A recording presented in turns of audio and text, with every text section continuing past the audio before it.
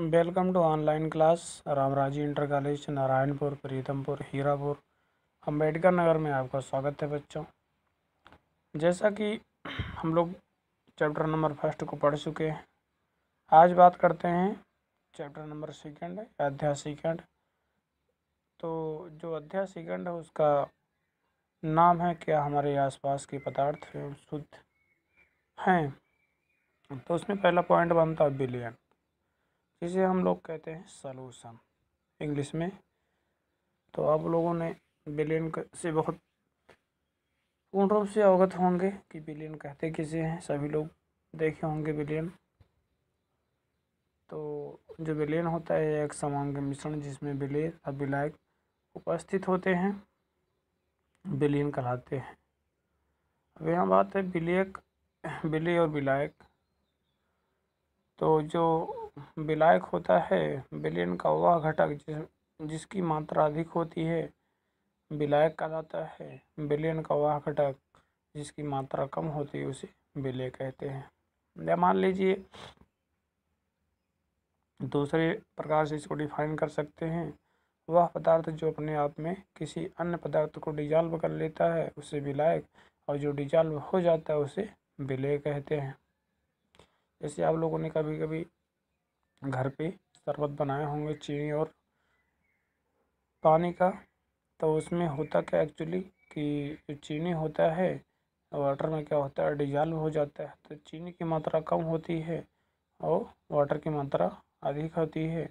तो जो जिसकी मात्रा अधिक रहेगी, वो हो जाएगा विलायक। जिसकी मात्रा कम रहेगी हो जाएगा बेले या कह सकते हैं, अभी डिफाइन किया गया है कि बेलेन का वह घटक जिसकी मात्रा अधिक होती है, उसे विलायक और जिसकी मात्रा कम होती है, उसे बिलियन कहते हैं।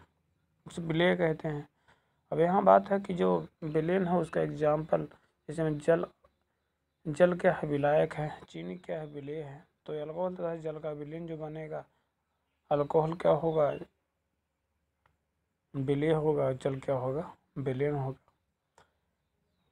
जैसे मान लीजिए बहुत लोग ड्रिंकिंग करते होंगे तो क्या करते हैं, जो अल्कोहल आता है, दारू आता है, उसमें क्या मिलाते हैं वाटर मिलाते हैं तो भी एक प्रकार का बिलियन ही बनता है।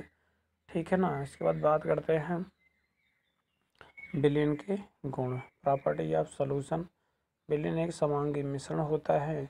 बिलियन को नंगी आँखों से नहीं देखा जा सकता है। बिलिय बिलियन में प्रकाश का पथ दिखाई नहीं पड़ता है।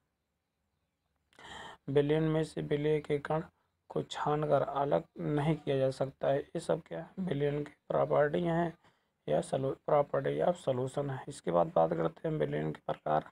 बिलियन कितने प्रकार के होते हैं? तो बिलियन निम्नलिखित प्रकार के होते हैं। एक होता है विलय की मात्रा के आधार पर। जो की मात्रा के आधार पर बिलियन होता है वो दो प्रकार का होता है। एक संदर्भ विलयन होता है और एक तन विलयन होता है। अब यहाँ पर सांद्र विलयन किसे कहते हैं? इस प्रकार के विलयन में विलय की मात्रा अधिक होती है।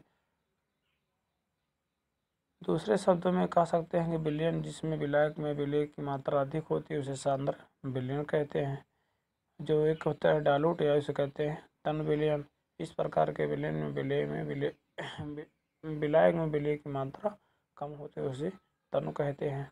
तो इस प्रकार से हम लोग देखेंगे जो बिलियन किसे कहते हैं, बिली और विलायक किसे कहते हैं, बिलियन की प्रॉपर्टी क्या है, बिलियन के प्रकार क्या हैं, बस आज इतना ही। Thank you